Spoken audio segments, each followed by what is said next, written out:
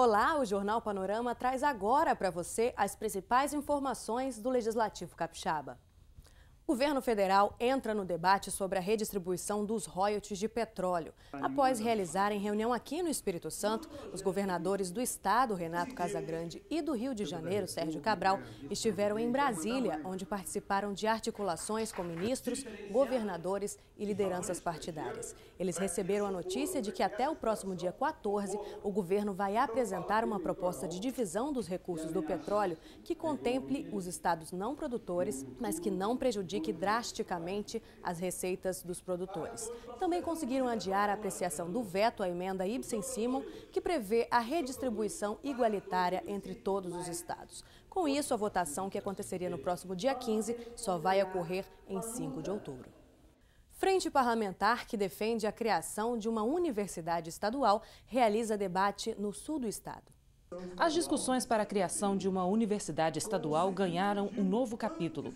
Durante a audiência pública realizada na Câmara de Vereadores de Cachoeiro de Itapemirim, ficou clara a ideia de uma instituição que atenda não só a Grande Vitória, mas também as regiões Norte e Sul.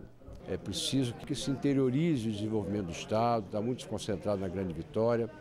Então, Cachoeiro é um polo, então o Cachoeiro poderá, com certeza, abrigar né, uma, uma instituição de ensino superior, seja uma universidade, uma mini universidade, não importa. Nós vamos propor que seja um modelo aonde contemple o desenvolvimento regional. Nós vamos propor que seja uma universidade ou uma instituição de ensino superior que possa é, estar localizada no sul, na Grande Vitória e no norte do estado. O ex-reitor da Universidade Estadual do Norte Fluminense, localizada em Campos dos Goitacazes, Rio de Janeiro, apresentou o um modelo de uma instituição estadual de ensino classificada pelo MEC como uma das melhores do país. O modelo que eu defendo é um modelo de universidade. Para mim, a universidade só tem um modelo, um modelo que envolve ensino, pesquisa e extensão, que seja um grande centro de ciência para formar recursos humanos envolvido com a produção do conhecimento. Pelo que a gente conhece da história de vida do governador do Espírito Santo, Renato Casagrande, com certeza vai sair e eu espero que saia uma universidade e não um centro universitário. Mas para financiar um empreendimento educacional de grande porte é preciso dinheiro. Os royalties do petróleo estão entre as alternativas. A riqueza do petróleo é uma fonte de recurso importante que deve ser investido em algo que vai ser perenizado. Universidade você pereniza né?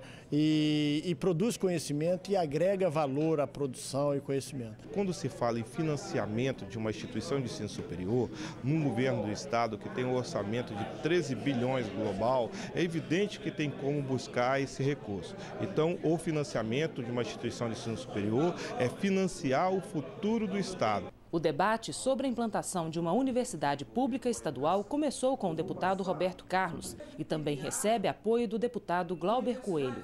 É uma bandeira que não pode ter dono, é uma bandeira que não tem dono. O dono somos todos nós capixabas. E eu tenho certeza e convicção que na figura do deputado Roberto Carlos e do nosso governador Renato Casagrande, essa discussão ainda no mandato do nosso governador, ela vai sair da retórica e vai vir para a prática concreta. Essa foi a terceira audiência pública realizada pela Frente Parlamentar em Defesa de uma instituição estadual de ensino superior. Uma nova reunião, agora no norte do estado, deve acontecer nas próximas semanas. E por falar em educação, deputada propõe que o governo do estado institua o projeto Semeando Verde. O objetivo é conscientizar os alunos das escolas públicas estaduais sobre a preservação do meio ambiente. Semeando Verde nada mais é que buscar a juventude, buscar as crianças, mostrando a necessidade de preservar as nossas matas, preservar os nossos rios. Nós precisamos recuperar, não só do ponto de vista ecológico, né, ecologicamente correto, mas também é, é uma forma de você poder falar naquilo que hoje mais é, traz danos à saúde do nosso povo, que é o saneamento básico. Depois de recomendar o cancelamento das multas aplicadas por radar em Domingos Martins, na região serrana, Comissão de Infraestrutura se reúne com diretoria do DER, o Departamento de Estradas de Rodagem do Espírito Santo. A Comissão de Infraestrutura da Assembleia Legislativa se reuniu com a diretoria do DER, Departamento Estadual de Estradas de Rodagem, para discutir a denúncia de irregularidades na aplicação de multas pelos radares instalados pela empresa Percons em Domingos Martins, região serrana do estado. Vários motoristas eh, souberam e receberam em suas casas notificações de multas. A partir desse momento, verificamos junto ao site do DR de que lá constava a informação de que o aparelho ainda se encontrava em teste. Mediante a essa constatação, nós pedimos à Comissão de Infraestrutura da Assembleia que nos auxiliasse para que os motoristas que passaram lá naquele período não sofressem as punições. Uma das recomendações e uma das solicitações da Comissão de Infraestrutura era da anulação de um número de multas o DR, enquanto autoridade de trânsito da via, ele precisa de um respaldo jurídico, legal, alguma coisa que em base à decisão de anular ou não a decisão. Isso foi encaminhado ao Conselho Estadual de Trânsito, né, onde são avaliados todos os, os assuntos relativos a, a trânsito dessa natureza. Esse assunto está na pauta da reunião do dia 6 do CETRAN, e a partir da, da resposta que eu obtiver do Conselho Estadual de Trânsito, isso vai embasar, embasar a minha decisão de anular ou não essas multas. Eu vou me dar por satisfeito por completo quando o DR oficialmente comunicar o cancelamento dessas multas, que já é um sentimento do, do secretário Fábio Damasceno e inclusive do presidente do Conselho, o Marcelo Ferraz. Então esse é o trabalho da comissão, de que nós estamos aqui representando a sociedade capixaba, os seus sentimentos, e corrigindo as possíveis distorções que possam ocorrer em qualquer órgão eh, ou secretaria do Estado, que é um papel constitucional que, quanto deputado, eu tenho, mas como presidente da Comissão de Infraestrutura, eu vou dentro da área pertinente, nesse caso, a Secretaria de Transportes e o Departamento Estadual de Rodagens, que é o DR. E hoje é dia de mostrar a opinião da sociedade capixaba aqui no quadro Plenário do Povo. O Jornal Panorama foi às ruas para saber da população de que forma é possível acabar com a violência sexual contra as crianças. Eu acho que isso é um trabalho para ser feito desde a, desde a escola, para trabalhar com as crianças e adolescentes para já ter uma, uma, opinião formada sobre isso. Não pode ter medo, tem que falar com os pais se acontecer qualquer tentativa ou acontecer realmente, porque não tem que deixar impune. A gente tem que punir realmente quem faz esse tipo de atrocidade com as crianças. Os pais mais atentos e a justiça mais forte nesses casos. Eu acho que a justiça tem que ser mais forte, tem que acabar com a impunidade. É, a educação também ajuda bastante. A educação acho que teria que trabalhar nesse ponto. Por quê? Porque ela passando para o aluno o que acontece com vítimas de crianças também na parte de pedofilia seria muito bom, porque com certeza a educação vem de casa. Só que na escola a pessoa tem que ajudar, o professor tem que ajudar a passar. Cultura Indicações feitas ao governo do estado pedem a implantação de bibliotecas públicas móveis para ampliar o acesso à leitura e a criação de um museu da imagem e do som.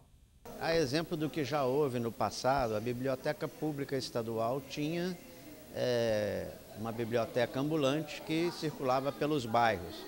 Além de atender aos moradores de cada bairro, atenderia também a pessoas que não têm residência fixa os chamados moradores de rua. De tal forma que acho que a Biblioteca Pública Estadual, o governo do Estado, deve investir nessa linha de levar a Biblioteca Pública Estadual à população de uma maneira geral nos bairros, porque isso produziria maior número de leitores e chegaria mais perto da população na linha de que o Estado deve ir né, aos que mais precisam de cultura. Deputado, outra indicação do senhor é a que pede a criação de um museu da imagem e do som. Veja, o Rio de Janeiro já tem um Museu de Imagem e do Som há muitos anos. Ele é um arquivo vivo né, da produção de imagens, seja filmes, é, vídeos, é, programas de TV, é, audiovisuais e também programas apenas de áudio, programas de rádio, o, o Estado tem uma TV e uma rádio, além da TV Assembleia, onde tudo isso é arquivado e disponibilizado à população. Não há um espaço nesse sentido no Espírito Santo. Então, creio que o Estado deve investir pesado nisso, porque isso é registro da história capixaba. Fim do comércio de pneus usados no estado é o que estabelece projeto em tramitação na casa. Tramita na Assembleia Legislativa o projeto de lei do deputado José Esmeraldo que proíbe a comercialização de pneus usados no Espírito Santo. O deputado está aqui ao nosso lado e explica melhor o que trata o projeto. Deputado, qual o objetivo desse projeto? Como essa proibição pode trazer benefícios aí à população e também ao meio ambiente, né?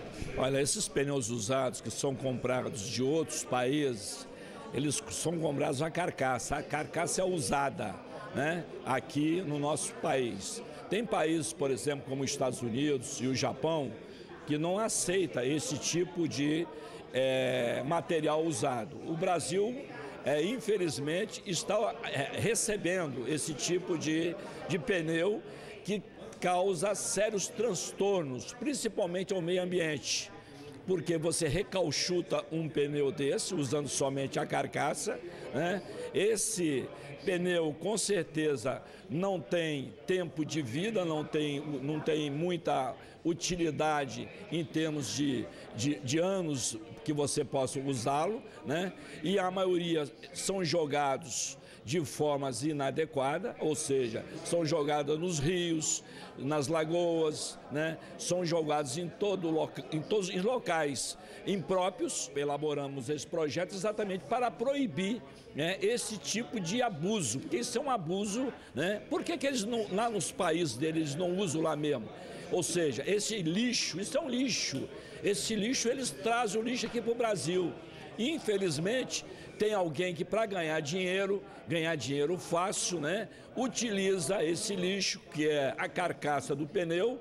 Homenagem. Projeto aprovado esta semana na Comissão de Justiça cria a comenda Eustáquio Ramaciotti. A honraria será concedida àqueles que se destacam na luta por melhores condições de trabalho e na defesa dos interesses dos servidores públicos. Doutor Eustáquio Ramaciotti, um brilhante advogado dos trabalhadores do Estado do Espírito Santo, das classes sindicais, uma pessoa íntegra que se hoje estivesse vivo, com certeza seria um dos constitucionalistas que iriam para a lista sexta do TRT e possivelmente seria um ministro ou um desembargador do Tribunal Regional do Trabalho. Por isso é que nós denominamos a comanda Eustáquio Ramaciotti para que seja agraciado todos os profissionais da área do direito trabalhista do Estado do Espírito Santo. E o Jornal Panorama desta quinta-feira fica por aqui. Obrigada pela audiência e até o nosso próximo encontro.